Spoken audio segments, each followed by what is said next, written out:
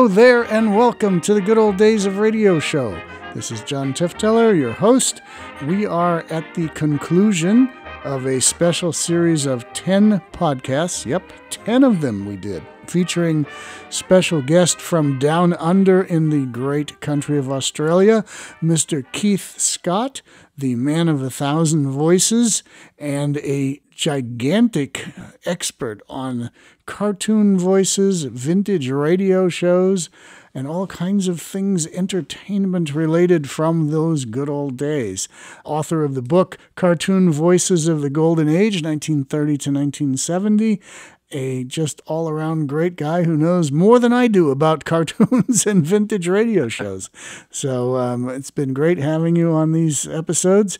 And today well, we most enjoyable. Yeah, hello again, Keith Scott. Today hey we there. hey there, it's Yogi Bear. Um, today we have an episode of Command Performance. Now. Uh, I guess I'll, since I do all the talking when I have no guests, since you're here, tell everybody what command performance was because people who grew up in the golden age of radio, if they are still breathing and still listening to this podcast, you never heard command performance. You had no idea what this show was. But if you um, right. if you were in the armed forces, you did. So explain that. Keith. Well, once once America officially went to war in December of '41, the armed forces, uh, uh, you know, um, formed their radio division because radio was the prime communication. This is way before the television era. In fact, TV had been held up because of World War II. The development of television was put on hold, and radio was king throughout the war years. So, very early on in the piece, in early 1942, the Armed Forces Radio Service was uh, inaugurated and and based mostly in Hollywood, where a lot of professionals who had been drafted, including actors like Elliott Lewis, Howard Duff, who played Sam Spade, uh, Jerry Hausner was very very uh, instrumental in this.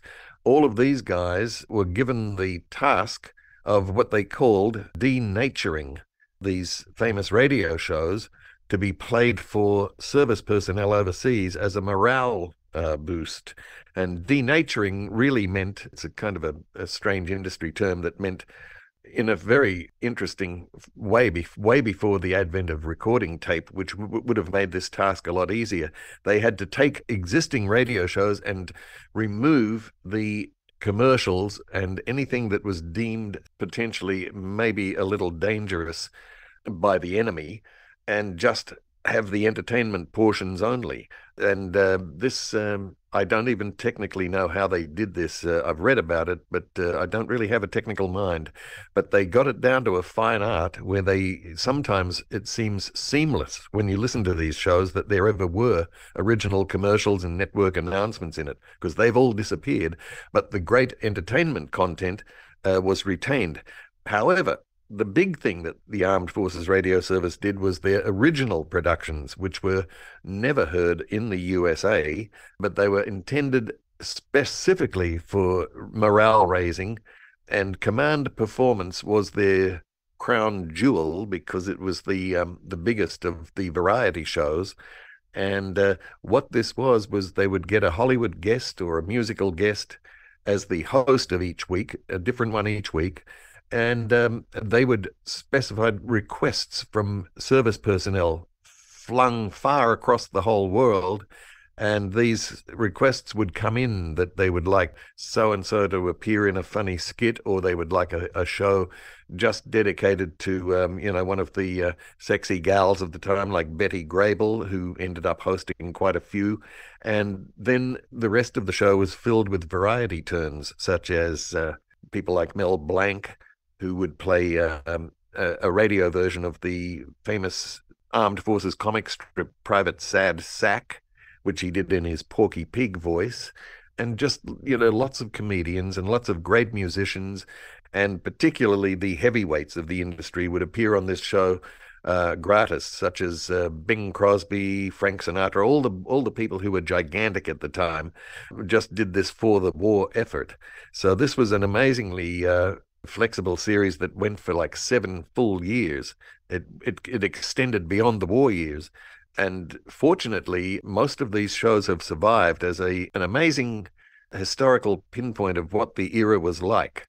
Uh, they really do, um, in some ways, kind of define uh, the the mood of wartime and and the sense of escapism that so many people sought to get away from the gloom of the fact that uh, this world war was raging.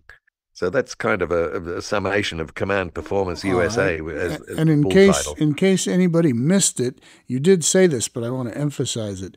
None of hmm. these big names that appeared on this program got paid.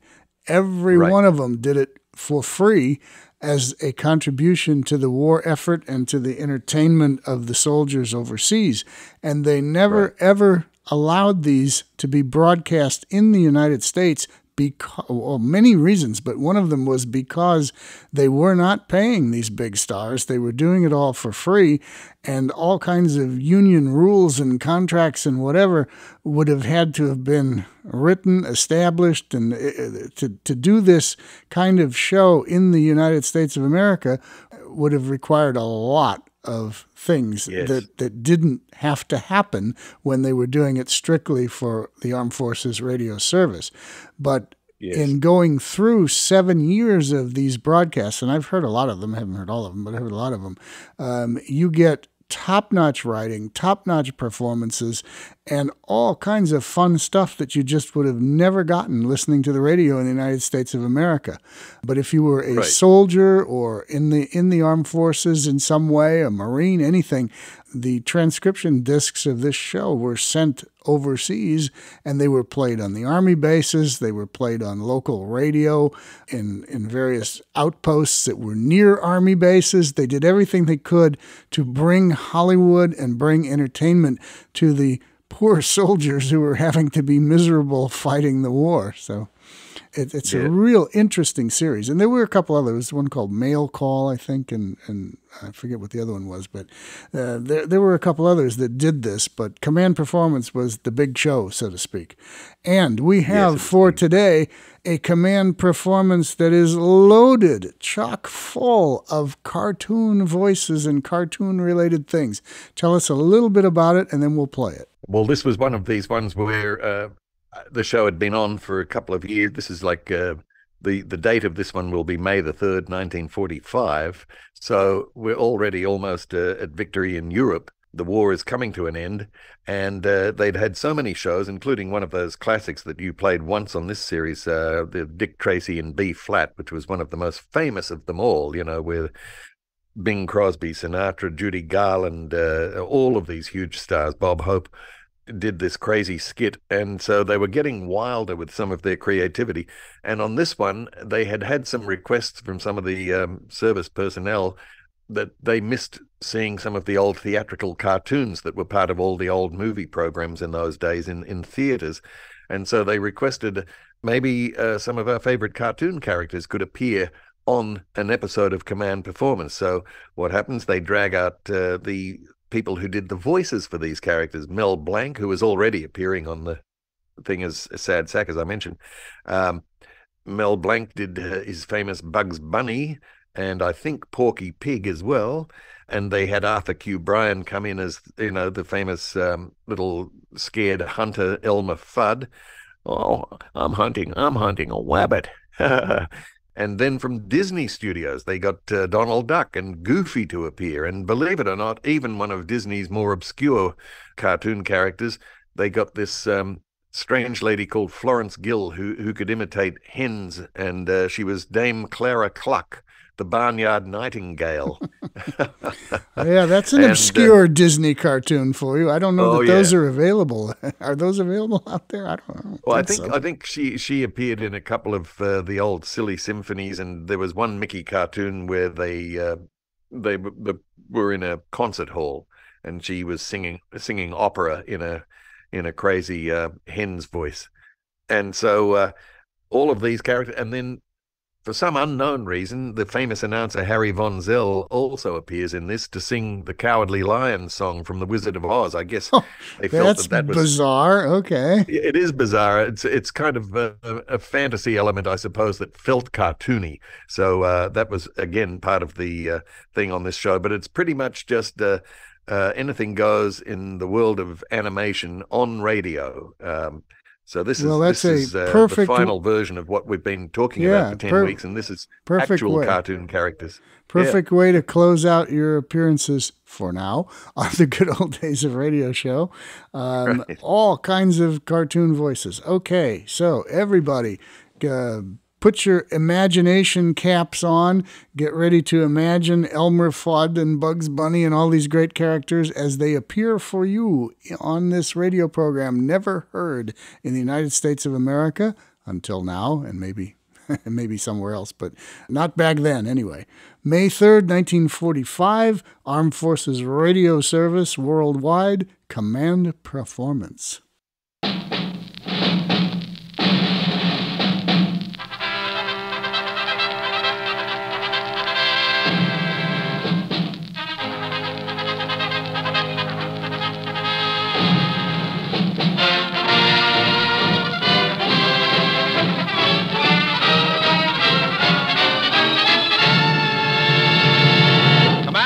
USA, the greatest entertainers in America, is requested by you, the men and women in the United States Armed Forces throughout the world. Command Performance, presented this week and every week till it's over, over there.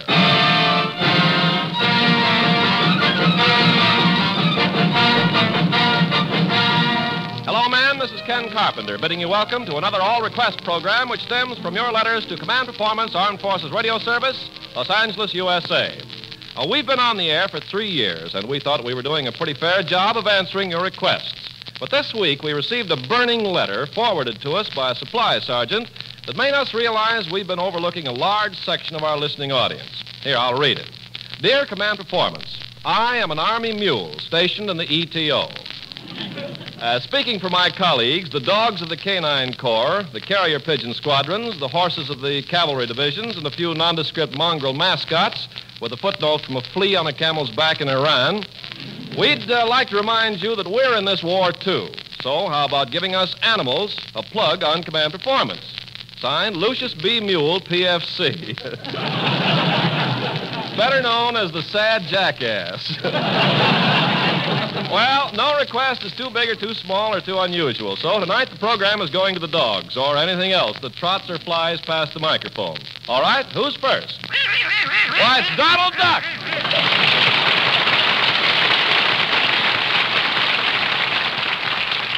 Well, say, I'm glad you're here, Donald. I saw your picture, the three caballeros. Uh, where are the other two guys? Oh, they're one outside.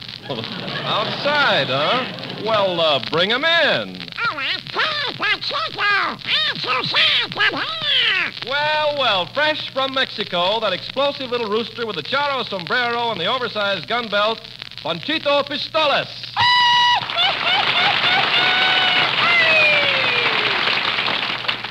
¡Yubo, cuates! Encantado de estar aquí con ustedes. Me cuadra hacer nuevas conocencias, aunque aquí ya tengo pilas de amigos por vía de... Donald, what did he say? Hello, Mr. Well, thank you, Panchito. Welcome to Command Performance. And now I'll introduce the third member of this trio. That suave, sharp man about Brazil with the body of a parrot and the soul of a poet, Jose Carioca. Senhores e senhoras, salve! Alô, pessoal, daqui vai um grande abraço bem brasileiro, um daqueles quebra-costela bem apertado, bem carioca. É um prazer estar com vocês novamente, meus amigos norte-americanos. Completamente, vocês são batatais do barulho, eu fico louco! Uh, can you translate Portuguese, Donald? Oh, sure. It says, uh, glad to meet his North American friends, and uh, when do we eat? when do we eat? well, here they stand, the three caballeros. Sí, señor, los tres caballeros. Si no le hace, echen al gallo más copetón que aquí traigo con qué quererlo. Uh, gentle little fellow. What did he say this time? I don't know. They won't talk. well, if he won't talk, maybe he'll sing. How about you and Jose Carioca and Panchito Pistola singing the title song of your picture, The Three Caballeros? Okay, what's that? A surprise?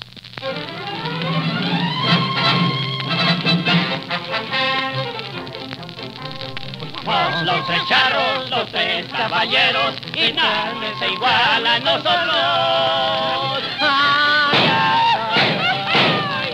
Felices amigos, siempre vamos juntos. Donde va el primero, van siempre nosotros.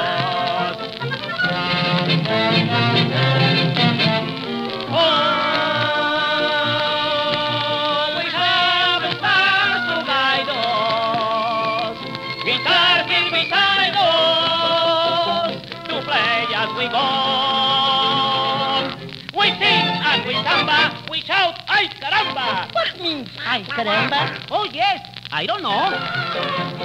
Oh, very stormy weather. But like books on a shelf. The sound of the baby says yes, no, or maybe. For himself.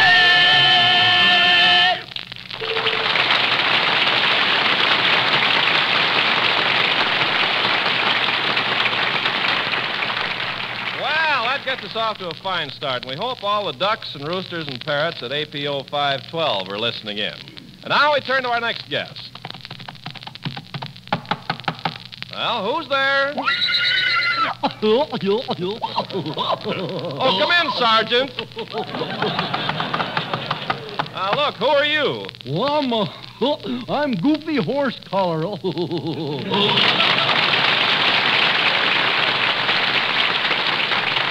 Why, Goofy. I thought you were up in the Aleutians with the cavalry pulling a garbage wagon. oh, nope, I got my discharge.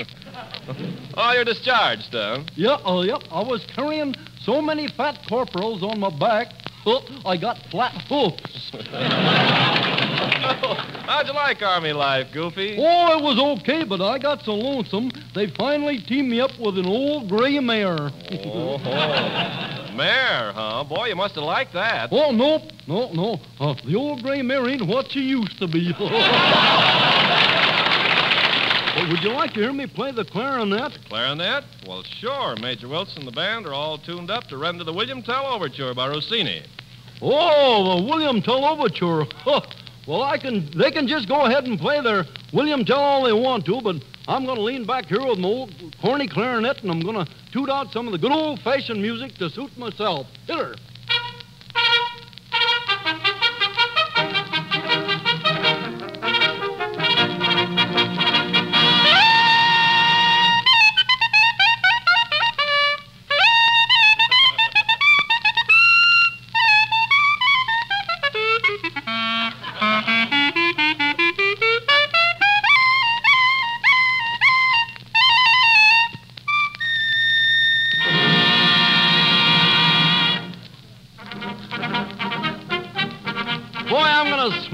The next time she comes around.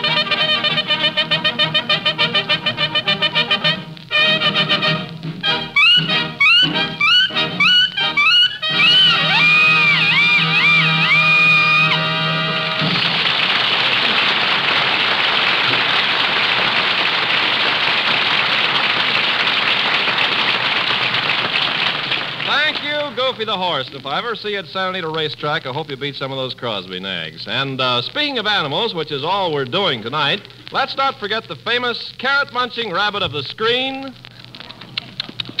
Hey, what's up, Doc? Bugs Bunny.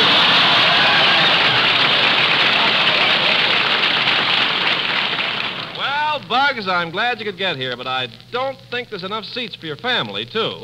Oh, I didn't bring my family, Doc. Just my wife, Josephine. Well, uh, what's all those baby rabbits doing behind you?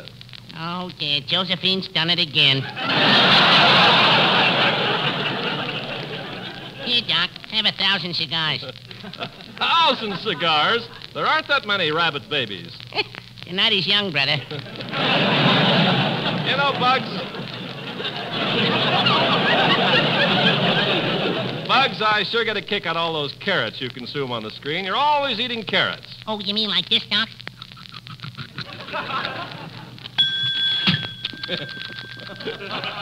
Yeah, yeah, that's the way I mean. Yeah, I thought so. Hey, but you want to know something? You know how I really feel about carrots? Oh. Gosh, you sure have your troubles. No, that ain't the half of it. You know, every Easter they expect us rabbits to show up with a basket of eggs. Yeah, don't people know that's a little out of our line? Oh, but...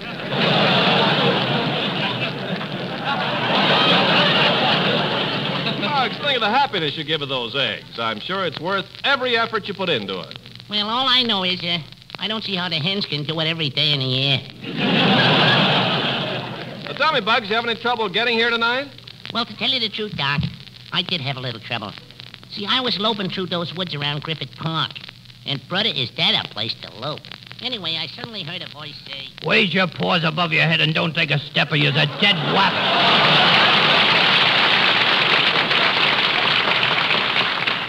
uh-oh, that hunted guy again. I got you now, Wabbit.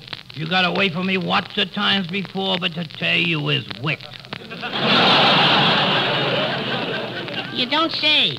Wick, huh? Yeah, my rifle is pressing white against your foey back. Hey, listen, Doc. Scratch it a little, will you? There's one place there I can never reach. I'm gonna press the trigger. Have you any last words? Yeah. You see this fist of mine? Yep. Come on, chase me. Here I go. You can't get away from me. Come back here, Wabbit.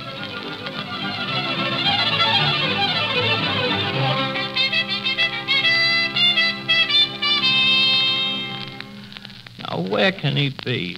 I, I thought sure he was hiding in this bush. Yeah. You looking for somebody, Doc? Yep. yes, I am. Did you see a wabbit go by here? Oh, wait, was he a big wabbit with his ears piled high up on his head? Yeah, that's him. Where was he?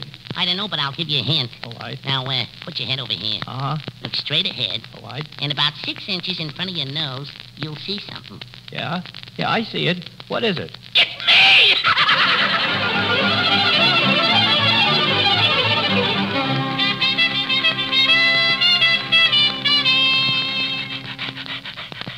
Now I got you, Wabbit. I'm gonna shoot you. Oh, please don't. No, no, you can't do that. I'm not white shoot- shooting. Just, just look at my fur. What's the matter with your fur? Stinks, Doc. hey, look, I'm too young to die. Think of my home, my wife. What'll become of my 17,000 children? You ain't talking your way out of this one, Wabbit. When I count three, you is just a mess of wed points.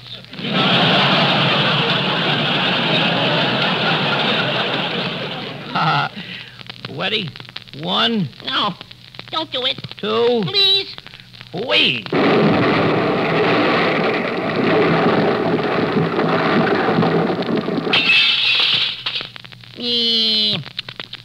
What's up, Doc? Don't tell me you're still here. Sure, don't look now, but you forgot your ball ammunition.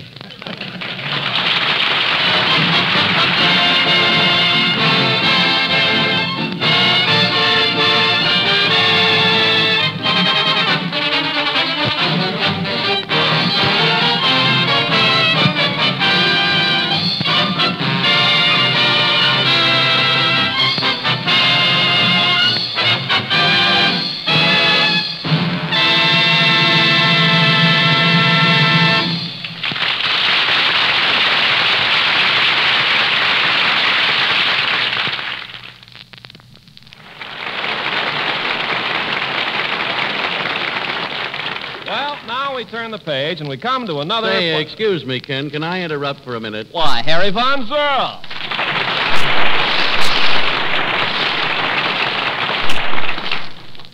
Say, Ken, I heard you were doing an animal show on Command Performance, and I came over to make sure that my favorite animal didn't get left out. Well, that's swell, Harry, but Lana Turner isn't on the show. No, Ken, I didn't mean that. I meant that if you have pigeon listeners and horse listeners, you must have a few lion listeners. And uh, I do a great imitation of a lion. You do? okay, let's hear it. All right. Yeah. um, uh, that's a lion? Yeah. Sounds more like a disappointed wolf at the Palladium. Well, Ken, maybe I can tell you better by singing. Oh, huh? a song about a lion? Well, Mhm. go right ahead. Hit it.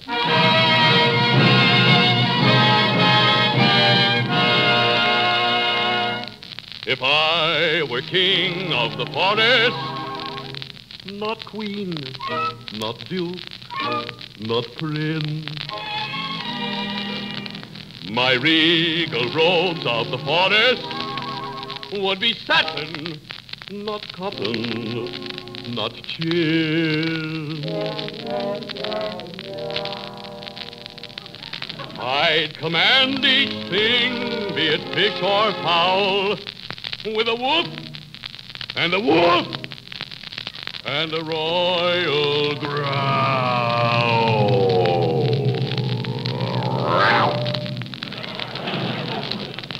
As I click my heel, all the trees would kneel, and the mountains bow, and the bulls kowtow, and the sparrows would take wing.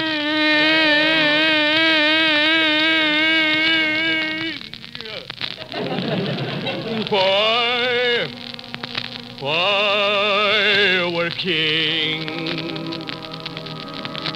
Each rabbit would show respect to me. The chipmunk's genuflect to me. Though my tail would lash, I would show compassion for every living thing.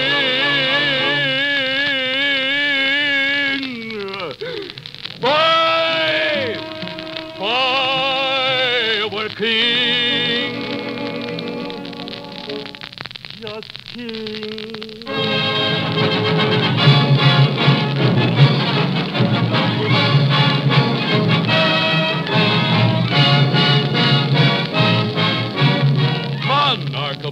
All I survey.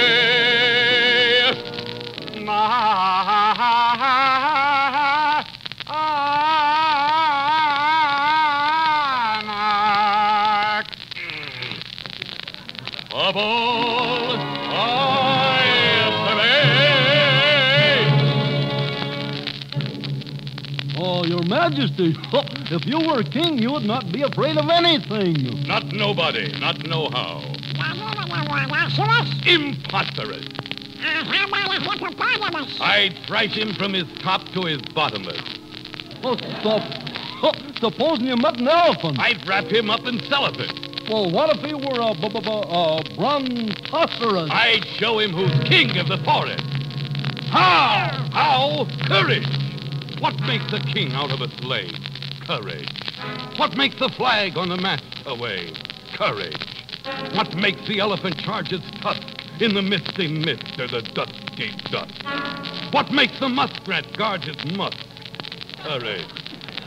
What makes the sphinx the seventh wonder? Courage. What makes the dawn come up like thunder? Courage. What makes the Hottentot so hot? What put the ape in apricot? What have they got that I ain't got? For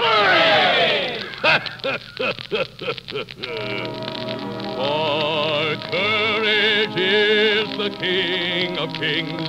With courage I'd be king of kings. And the whole year round I'd be hailed and crowned by every living thing.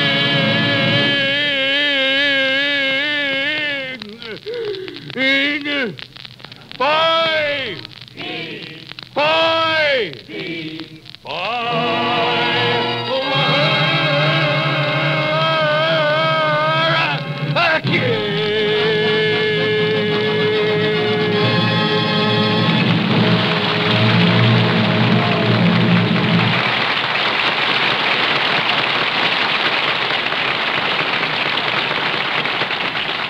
Thank you, Harry the Lion.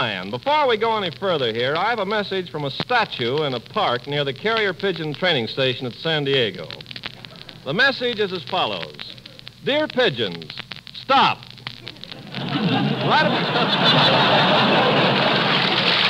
No animal show would be complete without a nice looking chick on hand. So, Command Performance asked the experts for the nicest chick in Hollywood, and here she is, Lina Romay.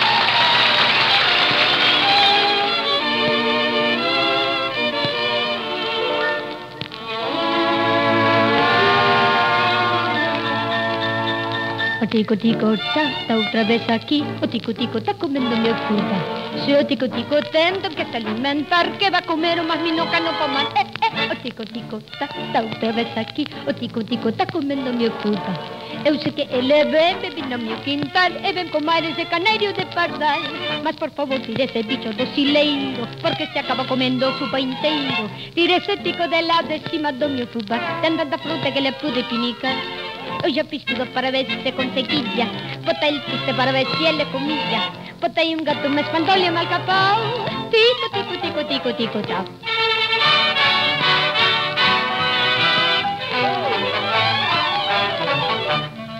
Oh, tico, tico, tico, tico, tico, tap, the tico, tico, he's the cuckoo in my clock.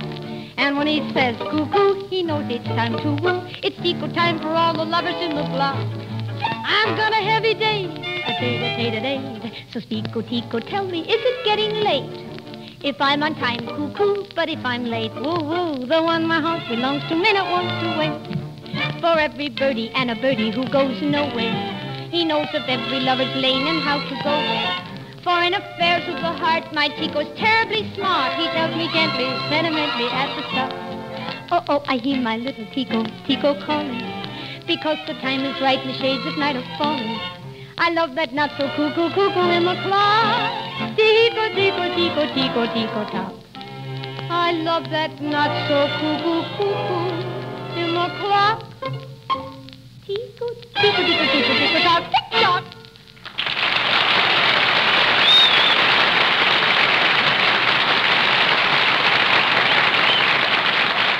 That was swell, Lina. and Stick around. I want you to uh, meet somebody later. Well, Ken, uh, are there any more animals coming tonight? Well, a letter came in from an Arctic detachment of penguins. You see, it's so cold where they are, they're all laying cold storage eggs, and every night they almost freeze their flippers off. Like other GIs, they have a favorite movie queen, and they voted this honor to Clara Cluck of Barnyard Symphony fame.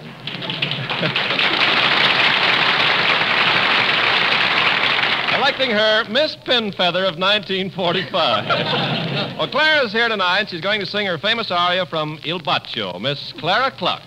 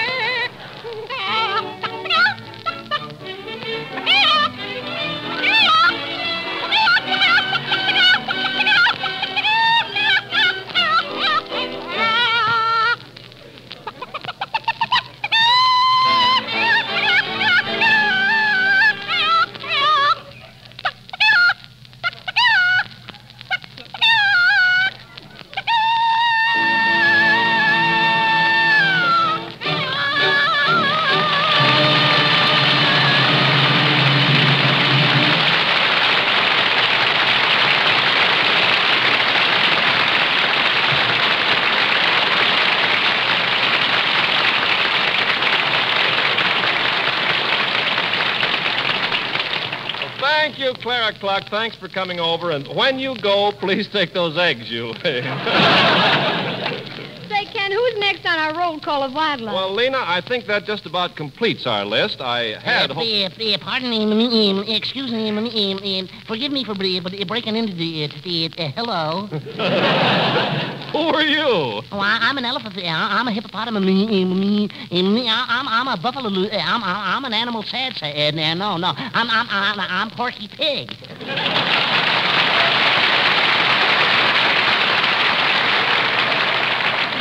Porky, what are you doing on this Army show? You connected with the Army in some way? Um, no, uh, but my brother uh, is overseas. Oh, your brother's overseas. What's he in? Well, he's in the cavalry. uh, He's in the tank. uh, See, he's with the field art. He's in the field artillery. He's in a can of spam.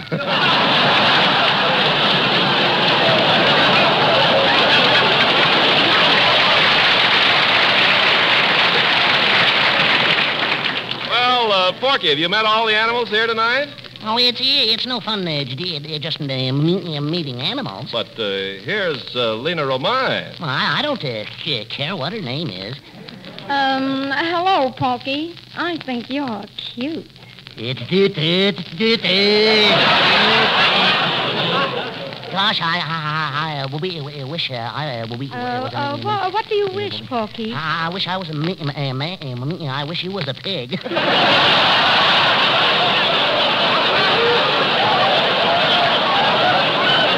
oh boy, You know, uh, I like you. Uh, you do? Uh-huh. uh, yes, uh, you have such pretty brown eyes. Well, uh, you have a, uh, uh, uh, pretty. Uh, you have a, uh, pretty uh, uh, brown eyes too. And you have such a nice nose. Oh, uh, well, well, you have a, a, a, a nice nose too. And you have such a cute curl in your tail. Well, you have a good, good.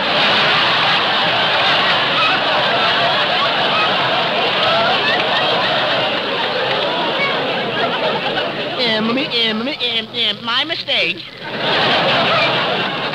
You know, Porky, I'd like to take you home with me. Uh, you would? Yes. Oh, I, I couldn't uh, do that. You see, uh, uh, my my mother would raise a c- c- uh, uh, oh, uh, people would say we were. Uh, uh, uh, it'll it'll cause a lot of tr- tr- uh, well, uh, don't stand there. Call a cab. Well, how are you two making out? Oh, just fine, Ken. You know, I was thinking uh, maybe the three of us could go to dinner, and then after dinner, the two of us could go to the movies. Hey, uh, b- b- uh, but which two? Lina and I. Well, uh, we, uh, we, uh, what about me? You? Who do you think we're going to have for dinner? Uh, d- uh, d- uh, that's all, folks.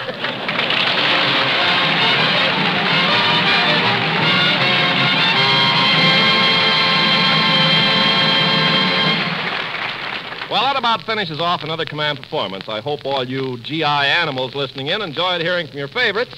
Tonight's roster included Miss Lina Romay as a slick chick, Harry Von Zell as the cowardly lion, Arthur Q. Bryan as the hunter, Mel Blanc as Porky Pig and Bugs Bunny, Pinto Colvig as Goofy Horse Collar and Pluto, Clarence Nash as Donald Duck, Felipe Turish as Panchito Pistolas, Jose Oliveira as Jose Carioca, Florence Gill as Clara Cluck, and Ken Carpenter as uh, Ken Carpenter. Well, I'll see you again next week, gang.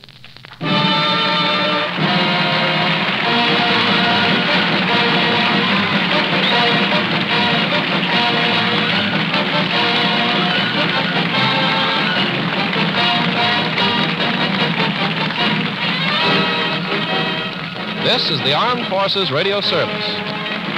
Thank you.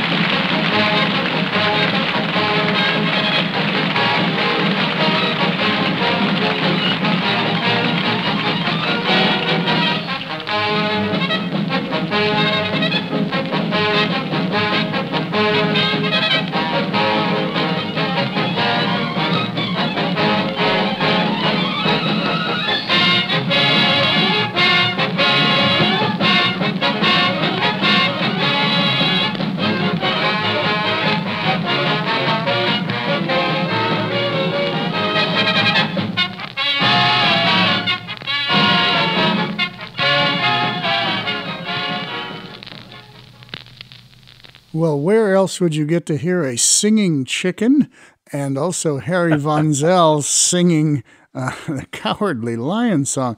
That had to be the most bizarre of all. Um, Harry Von Zell had Yep. nothing to do with the Wizard of Oz or the anything, but they, they had him do this. And the singing chicken, that's right out of a Dr. Demento show or something like that. That was, Oh, that was pretty good. All right. All those great cartoon voices, a cartoon extravaganza. Uh, further comments from you, Keith Scott? Well, that was that was a, a great example of how radio could creatively use the uh, the cartoon characters, and um, it's a it's a great uh, way to end this series of ten that we did relating them to industries because. Uh, you know, I keep forgetting to mention that the the big Technicolor theatrical cartoons on a giant theater screen back in the 1940s were as popular as radio shows like Fibber McGee and Molly and the Great Gildersleeve. So it was all contemporaneous, and uh, and you can tell how both industries, being based in the town of uh, well, the environs of Hollywood and Los Angeles, uh, were easily able to um, feed each other talent. That uh, really is is uh, a great way to end this uh, whole thing about uh, cartoon voices being radio actors because all of those people went back to the um, beginnings of radio in the early 1930s. Right. Well, great. Why don't you um, wind up your propaganda machine here for one last push for your book? Uh, Sure, Tell people sure. about it, and then we'll fade away into the sunset and go watch some cartoons. Well, this is uh, the the reason I was, I guess, invited on, and I was very um, uh, happy to do so because I've had some very nice uh, promotion for the book that I wrote. It took me thirty years of research, but it was it was worth it. It was called it's called Cartoon Voices of the Golden Age, 1930 to 70, and it covers the history of cartoon voice acting from the beginning of sound films in 1928 when Walt Disney himself was the first famous cartoon voice, Mickey Mouse, in Steamboat Willie, all the way up to the year 1970 when, yes, they were still uh, using radio people uh, with the cut-off point of my book with the movie The Aristocats, the Disney film, which had Phil Harris from the Phil Harris Alice Faye show. He'd become a great cartoon voice a few years earlier as the voice of Baloo in, in Disney's Jungle Book. Well, all of this history can be found in these books that I've written, which are available on bearmanormedia.com or through Amazon and those other uh, outlets. And uh, I want to thank John and uh, Daniel, uh, John Tefteller and Daniel Chase, that is, uh, for giving me this opportunity and for also letting me air all of my love of old time radio uh, in in all of its splendor and uh, and range over these last uh, ten weeks, and it's just been a blast. Well, I want to thank you for the research that went into all of this because I spent much of my earlier years collecting radio transcriptions, uh, and I'm surrounded by them from where I'm speaking in my warehouse here. But I never really did this kind of in depth research. I always hoped that someone else would, and it would be kind Right. of my thing to save the recordings and someone else to make sense of it all down the line. So, Well, you um, certainly have done done more than most for the actual preservation of the recordings, and uh, and with all the years that you were, you know going back to PPB and SPERDVAC, and uh, and I think I think one of the reasons I, I've done all of this research is that uh, you often find uh, people who are in the business of performing are the best ones to research that particular industry because they they're simpatico with it. They understand all the ins and outs of the actual performance techniques and all of that, and there is that fascination with uh, anything that came before you and was inspirational. Yes, well, very good. Yeah, you were the perfect person to do this book, uh, Cartoon Voices of the Golden Age. And I'm really grateful that it exists and really grateful that you would spend uh, 10 weeks with us here on the good old days of radio show. I know we, uh, the, the trade secret is we kind of recorded these in, in little segments, so you didn't have to be here for 10 weeks. But uh, anyway, they will, the listener will hear them over a 10 week period, or Yes. once they're all out there, they can binge listen to them all at one time. They That's right. they can go all night long listening to uh, Keith and myself talking about vintage cartoons and vintage radio and getting into the weeds pretty deep on some of these trivial matters Yes. that uh, actually do matter. Uh, and we've now got somebody that's documented them. So I think it's great. I thank you for all the work you did. I know 30 years of research on a book doesn't necessarily result in anything other than self satisfaction and a few sales here and there. Um, labor of love, but, yeah. pretty much a niche a niche audience, you know. Yeah, so it- it's not it's- it's not going to sell like a like a tell all about Michael Jackson's love life or something like that. But Hmm, darn. Well, but the, but then again, that wasn't funny. no. These, these are. No. Um, okay, that's an interesting comparison. I will have nightmares over. Uh, thank you. Uh, anyway, um, yeah, you did the you did the work. You put in your time. You produced a, a, a great book or two here and there along the way, and um, it's just great that all this happened. And it's great to have you on the Good Old Days of Radio show. And we look forward to having you again in some other context somewhere down the line. We're at just over 200 Right. episodes, and we'll keep on going as long as there are great radio shows, not mediocre ones, great radio shows to uh, bring to a modern audience because that's what we do here on the Good Old Days of Radio show. So, Well, thank you very much. That's that's a, a a great cue for me to uh, say that I've enjoyed these ten episodes enormously, and uh, you guys are doing such a great job with this uh, in quality radio, uh, vintage radio. And uh, it's it remains for me simply to um, say, along with the theme of these ten, That's all, folks. Wow, that's amazing. I was going to actually ask you to do that, and I didn't have to ask you to do that. Well, thank you, Keith Scott, um, from the great country of Australia, the land down under, the man of a thousand voices. Thank you for everything, and thank you to the good old days of radio audience, which keeps growing bigger and bigger as more and more people listen to this podcast and tell their friends and um, bring in more people to learn about the great old uh, shows and how relevant a lot of it is to today's radio. So thanks to Keith Scott for being here, and we'll be back next week with more of the good old days of radio show.